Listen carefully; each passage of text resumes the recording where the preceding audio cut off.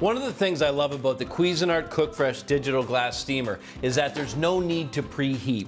Now for this dish of mussels and tomato and chorizo, I can remove the reversible insert and I've got five liters of capacity. That means I can do more than a couple pounds of mussels and all of these fresh ingredients to make a delicious and healthy meal.